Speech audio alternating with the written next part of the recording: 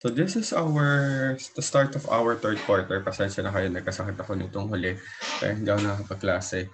So, magsimula tayo ngayon ng third quarter.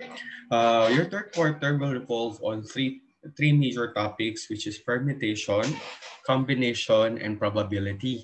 Eh, sabi nga, ito nga yung uh, lagi ko sinasabi dati, yung may face-to-face pa, this quarter is the hardest kapag hindi kayo marunong mag-analyze. Okay? Kasi ang meron tayo ngayon for this quarter is purely analysis of word problems. Okay po. Madali siya. Mahirap siya pag hindi ka nag-analyze. Madali, ka, madali to kung mag-analyze kayo at may calculator kayo, scientific. Kasi sa how may scientific calculator kayo, mabilis nyo kayo makasagot. Kasi ipapasok nyo lang sa calculator, then may sagot na kayo. Okay? So, ano nga ba? So let's start. Uh, our first topic will be uh, on permutation. Okay, but before we I formally start with the form permutation, meron lang muna akong ituturong isang topic na ma maaari niyong gamitin kung wala naman kayong calculator mamaya na pwedeng gamitin. Okay? Okay, so the first one, the first topic that we will be having is what we call factorial. Okay? Yung factorial na tinatawag natin na uh, people ay kapag katulad nito, nakikita po ba aking ang aking ano po, ang aking wait lang po. Yan. Um, nakikita po aking screen. Pakisabi po kung oo o hindi. Nakikita po? Opo. Mapapansin nyo, may makikita kayo dito mga numbers na may, um, meron tayo dito numbers na may uh, exclamation point. Okay? Anong ibig sabihin ng numbers na may exclamation point na yan? Okay. So, yung numbers na may exclamation point, ibig sabihin yan, kapag sinabi nating 1 factorial, ibig sabihin then that's 1. Pag 2 factorial, Ibig sabihin, that's 2 times 1. Kapag 3 factorial, it's 3 times 2 times 1 or 6. So, ibig sabihin, kapag sinabi natin 10 factorial, um, pag sinabi natin 10 factorial, ibig sabihin po noon ay that's 10 times 9 times 8 times 7 times 6 times 5 times 4 times 3 times 2 times 1. Clear po tayo doon. Okay? Any question? Sa sinabi ko. Okay po. Let's have an example, another example ha. Okay. Example I have here, um, 7 factorial. Ang ibig sabihin po ng 7 factorial ay 7 times 6 times 5 times 4 times 3 times 2 times 1. So sa ilan yan? Kung may calculator tayo, 7 times 6 times 5. Meron yan. Uh, may calculator pa kayong hawak?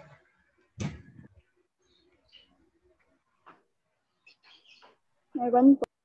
Meron po. So 7 times 6 times 5 times 4 times 3 times 2 times 1 means 5,000 5,040. Okay po. Maliwanag po yan. Uh, ano ang 5 factorial? 5 factorial. 120. 120. Uh, pwede. So, paano yun? It's 5 times 4 times 3 times 2 times 1. So, that's 5 times 4 That is 20 times 360 times 2, 120 times 1, 120. So, ganun lang po yung idea ng factorial natin. So, kung ano yung number, magsa-start lang kayo doon, it at times mo pababa ng pababa. Okay? So, 5 times 4 times 3 times 2 times 1 equals 120. Okay? Ngayon, kunyari ang nakalagay naman dito ay 7 factorial over 5 factorial. Ang ibig sabihin po niyan, that's division. So, ibig sabihin that is 7. 7 times 6 times 5 times 4 times 3 times 2 times 1 all over 5 times 4 times 3 times 2 times 1. Since this is a multiplication, pwede tayo mag-cancel. Okay? So, i-cancel natin yung 5, cancel natin yung 4, cancel natin yung 3, cancel natin yung 2, cancel natin yung 1. So, ibig sabihin, ang 7 factorial over 5 factorial is simply 42. Kuha po. Sa, cal- sa calculator nyo, makikita nyo yung n, mayroong kayong makikita dyan na n factorial. Yan. Yun po yun na pwede nyo pinitin. So 7 factorial divided by 5 factorial is 42. Okay po. Nakakasunod po. Question muna sa factorial. Bago tayo mag, mag, mag uh, kasi yan yung basic. Okay? May question po tayo sa factorial. Ulit po tayo, hindi ko naintindihan. Yes po, Alex. Sino po yun?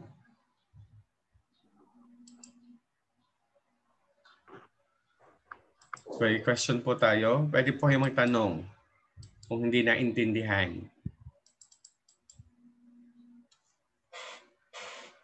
Pwede rin kayong sumagot na naintindihan po kung naintindihan na. Nagets po ba? Para tayo makadiretso? Nuggets po. Opo. Okay, so stop ko muna to. Okay, clear ko muna to. So now let's move on to what we call permutation. Ano ba yung tinatawag nating permutation? Okay. So, yan. So when we talk about permutation, ibig sabihin niya is from the word per mature, ibig sabihin by change or through change. Okay po, ang ibig sabihin po ng permutation where the arrangement is very vital. Okay? Napakahalaga ng arrangement. Uh, example, ang 21 ay iba sa 12.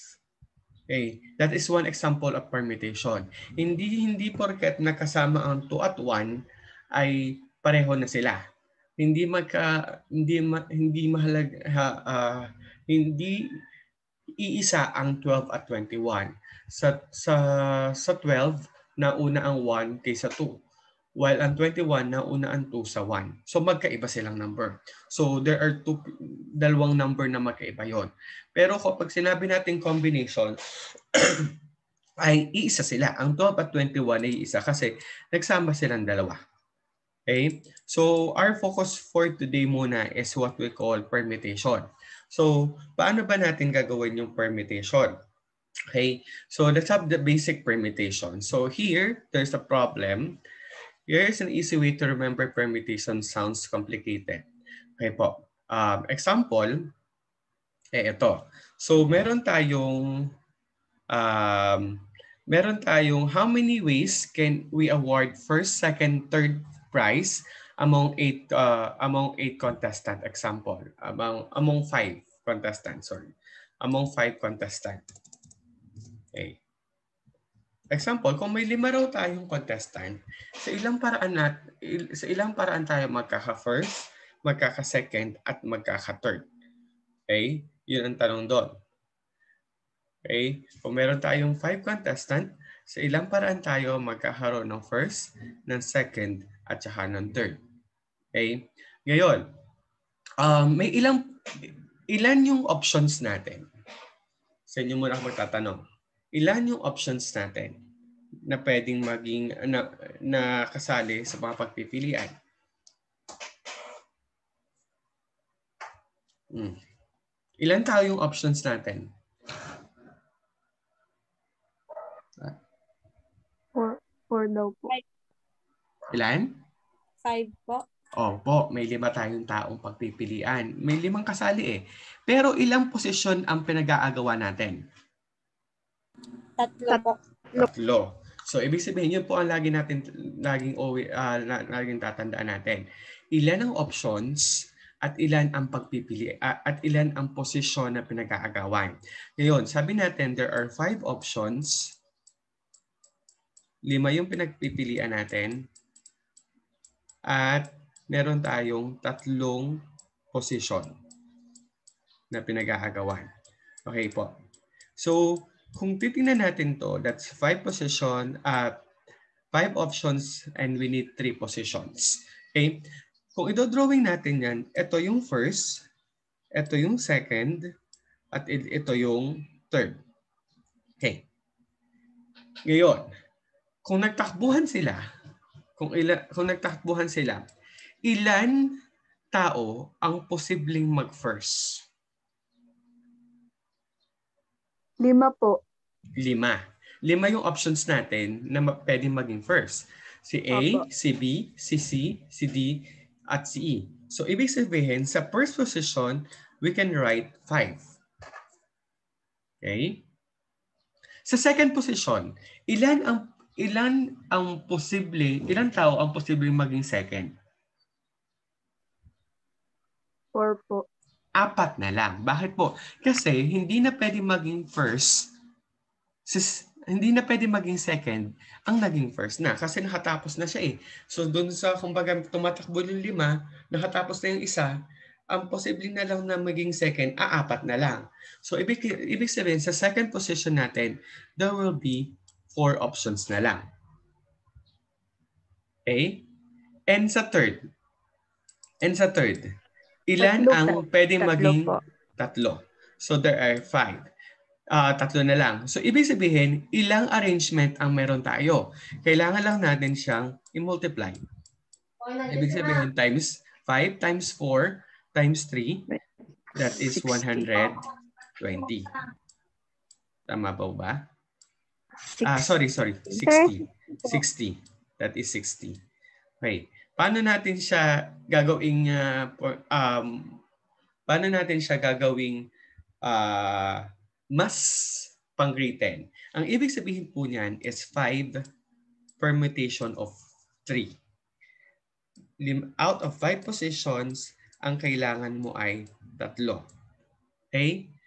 Out of 5 positions, ang kailangan mo ay tatlo. So, ano ibig sabihin? Ang, ang formula po kasi natin dyan ay n factorial over n minus r factorial. n is the total um, total options and r is our response or position.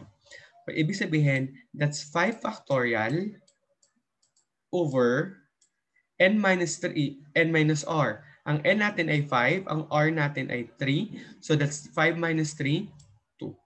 So ibig sabihin, it will be 5 times 4 times 3 times 2 times 1 over 2 times 1. So cancel natin yung 2 at 1. So we have 5, 4, 3. Katulad lang nito. Okay. So ang kailangan, kung kayo may calculator, kung kayo may calculator, may makikita kayo dyang NP, NPR. NPR. Kung may scientific calculator kayo. So kailangan nyo lang isulat ay 5. Pindutin yung NPR 5P 3. Then you will get 60. Okay? Then you will get 60. So let's have another example. Yeah, let's have another example. Ito. Um, yan. Ito muna. Yan. Yan. So ito ngayon. So 10 runners. Sige nga.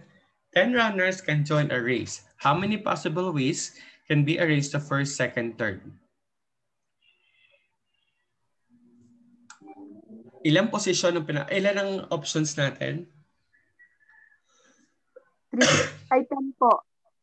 Sampo. Ilan ang posisyon na pinag-aagawan? Three po. Tatlo. Tatlo. So, ibig sabihin that is first, second, at saka po, third. Ilan ang pos- posibleng maging first? Ten. Ten. Ilan ang posibleng maging second? Nine. Nine. Ilan ang posibleng maging third? Ilan ang, ilan ang, po- eight. So that's 10, 9, 8 or 10 times 9 times 8 or 7, 20.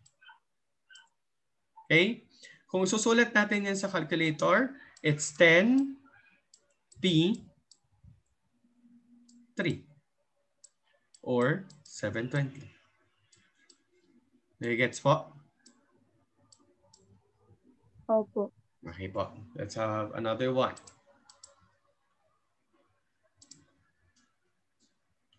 Okay po. Ito. Suppose you have secure by using combination lock, which is not, dapat hindi siya combination lock. It should be permutation lock. Okay po. Ngayon, ang, ang, uh, ang sabi, you realize that you forgot your four-digit code. You only remembered that the code contains 1, 3, 4, 7. So ilang code ang pinag-uusapan natin doon? So ilan muna yung posisyon, ilan yung options natin na number? Ilan yung options natin na number? 4, Apat. Ano yung mga pagpipili natin? 1, 3, 4, at 7. 4, 7. Ilan yung position na pinag-uusapan natin? Four. Four, four din po. Apat din. So ibig sabihin, ilang number ang posible sa first position? 4, Apat. Sa pangalawa, 3, sa pangatlo, 2, sa pang-apat, 1, 1. So that is 4 times 3 times 2 times 1 or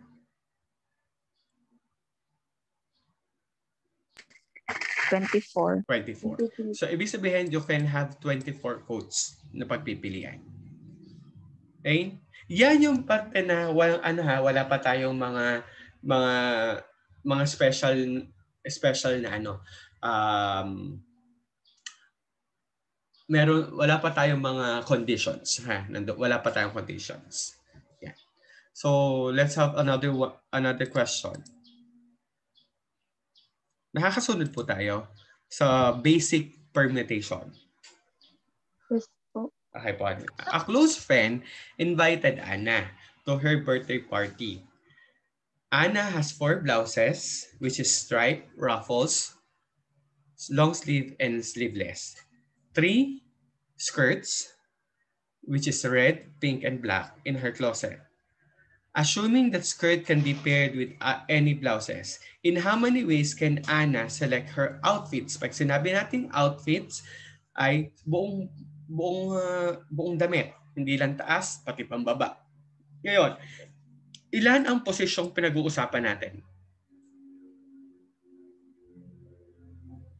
Ilan ang posisyong pinag-uusapan natin?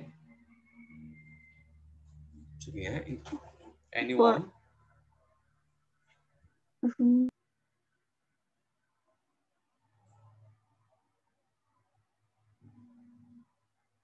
Two. Dalawa. Bakit dalawa yung posisyon? It's pangtaas, which is your blouse, at saka yung pang baba, which is your skirt. Tandaan, hindi mo naman pwedeng isuot ang skirt sa taas at hindi mo naman pwedeng isuot ang blouse sa baba. ba? So, dalawang posisyon yon Damit mo pang pataas at damit mong pambaba. Ngayon, ilan ang kaya mong isuot sa pangtaas? Four po. Apat. Sa pang sa pang sa pambaba, Tatlo. Tatlo. tatlo. So we have 12 outfits. Ah. Gets po? Okay, Gets po? Bakit ko pinaghiwalay? Ba't hindi ko ginawang 7? Ba't hindi ko sin- ginawang 7 yung options ko? Kasi hindi pwedeng pagsamahin yung blouse at saka yung skirt. Kung, kung gagawin kong, ah, kanyari, um, sando, uh, sleeveless at saka long sleeve, yun, tatlo yun. Bas pang taas lang, then tatlo ang pagpipilian ko. Pero dahil dalawang posisyon ang pinag-uusapan natin na hindi naman pwedeng magkapalit, at mo yun, hindi siya pwedeng magkapalit. ah ang pantaas ay pantaas at ang pambaba ay pambaba. Hindi mo pwedeng pagsamahin yung mga options mo na 4 at saka 3. Kasi ang 4 ay para sa taas lang at ang 3 ay para sa baba lang. Kaya yung options natin sa taas, sa first ah, blank is 4 at ang option natin sa baba ay 3 which is isa lang. Paano natin to isusulat sa formula?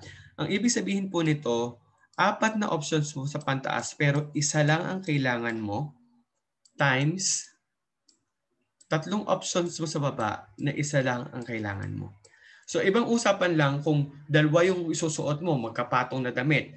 Kung dalawang magkapatong na damit ang susuot mo, then that will be 4P2. At magiging dalawang position to na pantaas. At kung dalawa ang susuot mo at dalawa ang susuot mong pambaba, edi magiging 3P2 to. Dalawang pansuot mong pambaba. Nagets po ang idea. Pero dahil isa lang naman ang inire-require sa'yo na pangtaas, so isang position lang yon at isa lang ang nire-require sa'yo na pambaba, so isang position lang yon Kaso, hindi sila magkasama as option. Yung 4 na blouses at 3 skirt, hindi pwedeng sabihin 7. Dahil ang 4 ay pantaas at ang 3 ay pambaba. Clear po tayo doon? Po. Okay po, sige. Um, sige nga, try nyo nga ito.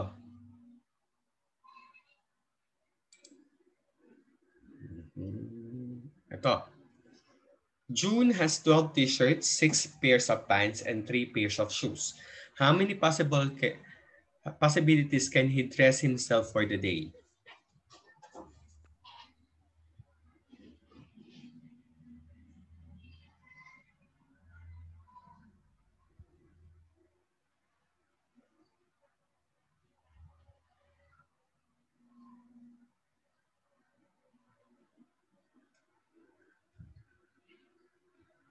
Anyone?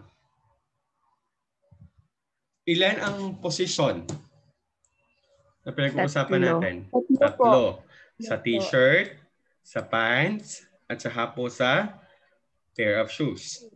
Ngayon, ilan ang options natin sa t-shirt? 12, 12. Ilan ang options natin sa pants? 6, At ilan ang options natin sa shoes? 3, 3. So you just have to multiply it. 12 times 6 times 3, that's 12 times 6, 72. 72. Times 3, 216. Tama? Opo. Kung isusulat natin to sa calculator at gusto mong gamitin yung formula, this can be 12P1 kasi isa lang naman ang kailangan mo times bakit ko pinaghihiwa-hiwalay? Kasi magkakaiba ang distinction. Kung is kung lahat 'yan ay isang lagayan lang, okay lang. Pero, pero this time around, iba ang t-shirt sa pants sa shoes.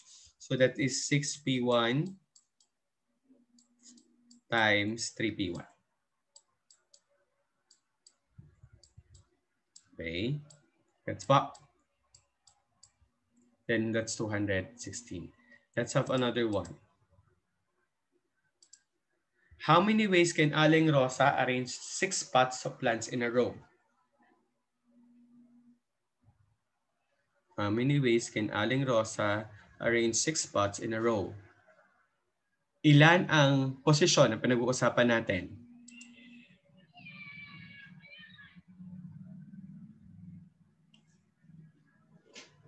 People. Ilan ang posisyon na pinag-uusapan natin? Ay- Aayusin raw ni Aling Rosa ang anim na plants niya. So ilang posisyon yun?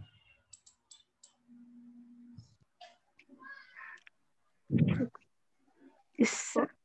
Isa lang? So isang position lang, isang position lang yung lalagyan ng ng plant? Anim po. Anim. Kasi anim yung plant. So ibig sabihin may anim na pwesto. Lahat naman kasi sila kasama eh. 'Di ba? So anim na plants, may anim na posisyon. So pag ginal kasi hindi hindi naman sila magpapatong-patong sa isang pos, sa isang position lang eh, 'di ba? I-arrange mo nga raw. So ibig sabihin may anim kang posisyon. Okay? Para yan yung kung may anim na posisyon, ilan yung pwede mong ilagay sa unang posisyon? Six. Six. Sa pangalawa, 5. five. Kasi nailagay mo na yung isa sa unahan. Gets po? Pangalawa, pangatlo, Four. Four. 4. Sa, pang, sa pang-apat, Three. pang-lima, Two. 2. Sa pang-anim, One. 1. So, ilan yan?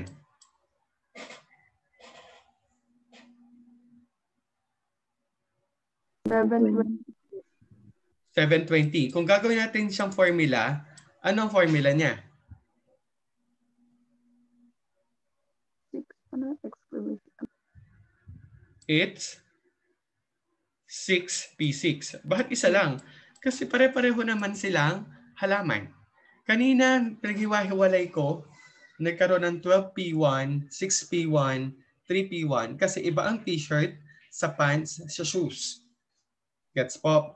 Ngayon, dahil ang pinag-usapan natin ay pare-parehong plants, ibig sabihin, isang grupo lang sila. So, ibig sabihin, kailangan ko ng anim na plants sa anim na posisyon. So that is 6P6. Gets po? Oh, let's have this number 4. Nandun pa lang tayo sa basic ha. Okay. Okay. Can you please try this one? Ilang posisyon ang pinag-uusapan natin? Four po. Four po. Four. Four. Kasi sabi four digit number. Ilan ang options natin? Six po. Si- Six. It's one, three, four, six, eight, nine. So, ibig sabihin, it can be one. Uh, ilan yung option, il, uh, ilan ang pwede nating maging option sa first position? Six. Sa pangalawa? Five po. Sa pangatlo? Four po. Four. Sa pang-apat? Three. Three. So, kapag minultiply natin yan,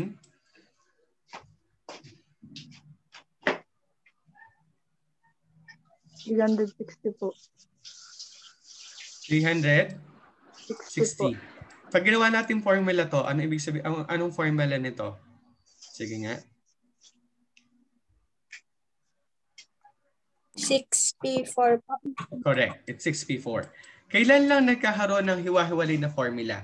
Nagkakaroon tayo ng hiwa-hiwalay na formula kapag nakagrupo yung ating mga options.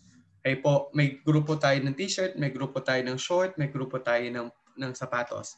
But this time around, kapag iisa yung grupo, isa iisa yung panggagalingan, is pare-pareho lang sila, ibig sabihin isang formula lang yon. Katulad nitong halaman, pare-pareho silang halaman, so isang formula lang yan, 6P6. Anim na halaman, anim na posisyon. Ito naman, pare-pareho silang number, so ibig sabihin, may apat na may apat tayo, may 6 tayong option, may apat na posisyon. So that is 6P4. Nakakasunod na po tayo. Okay? Okay, last one. How about this one? If there are three roads from town A to town B and four roads from town B to town C, in how many ways can one go to town A to town C and back to town A through B without passing through the same road twice?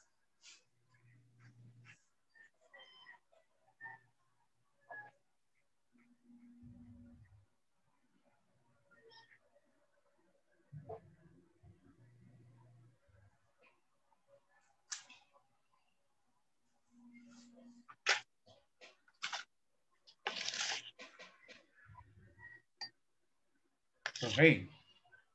Drawing natin. I-drawing natin ha.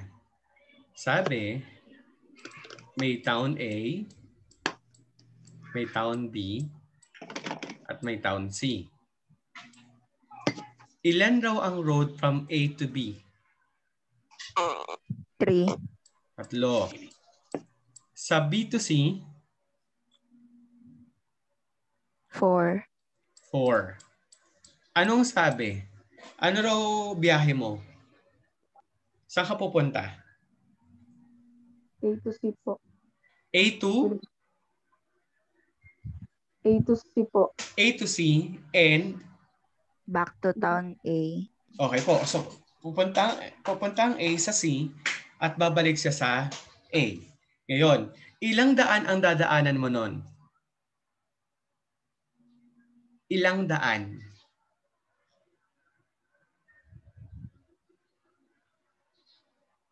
Ilang posisyon ang gagawin natin?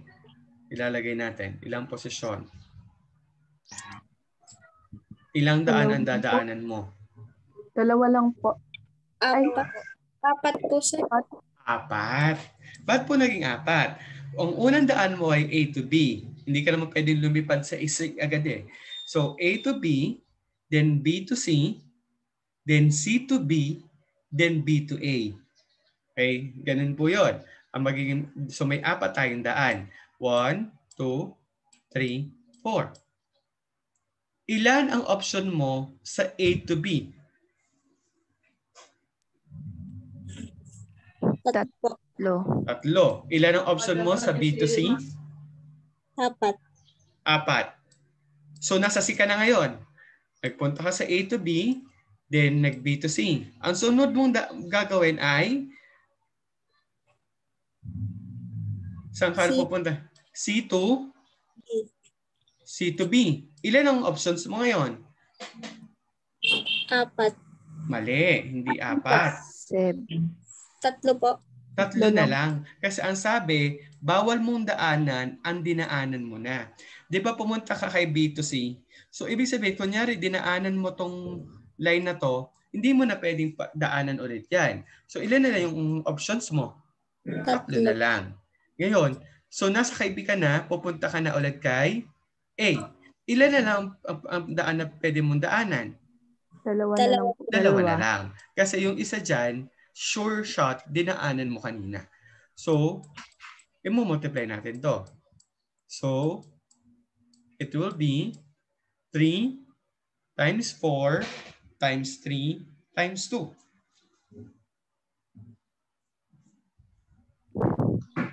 Three times 4 times 3 times 2. Ano sagot dyan? Seventy-two. 72.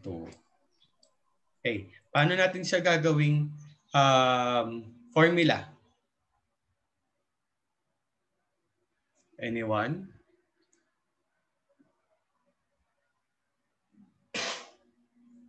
Paano natin siya gagawing formula? PP1 times 4P1 po. 3P1 times 4P1. Times 3P1 times 2P1 po. Okay po, pwede po yon. Or pwede rin, dito sa daang ito, dito sa daang ito, ilan ang ginamit mo?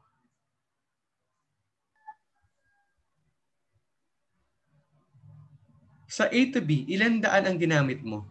Dalawa po. Dalawa. Ilan ang options mo? Tatlo. Tatlo. Tatlo. So, pwede siyang 3P2. Times, sa daang ito, ilan ang ginamit mo? Dalawa. Ilan ang options mo? Apat. Apat. So, ganun din yan. So, 3P2. So, ibig sabihin 3 factorial over 2 factorial. Ibig sabihin yan, that's 3 times 2. Then, yung isa naman, 4 times 3. Ito po yon 3. Ayan.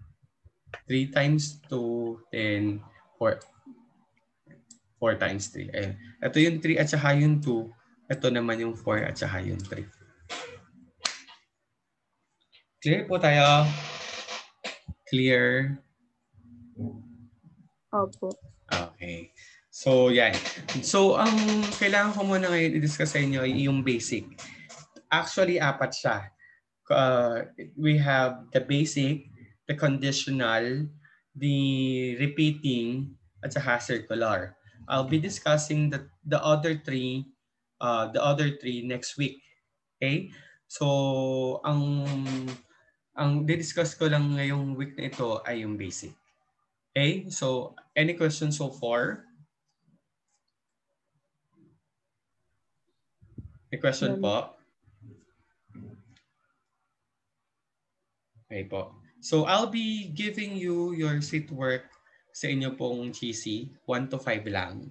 Kailangan nyo lang pong isulat ang ah, tamang sagot at saka yung possible formula. Yung parang ginagawa natin dito. Yung mga blanco-blanco, then at saka po yung ano yung possible formula niya. Clear po tayo?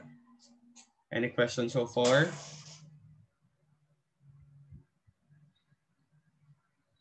May tanong po. May gusto pong linawin? Ito po yung gagawin nyo, yung 6 to 10. 6 to 10. May gusto po kayong linawin? May gustong itanong? Hello po. Ikausap pa po ba ako? May gusto po ba kayong linawin or gustong itanong? Thumbs up pag wala na.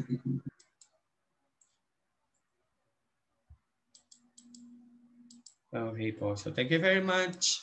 We'll see again. See you again next week. Bye. Thank you. Thank you po. Thank you po, sir.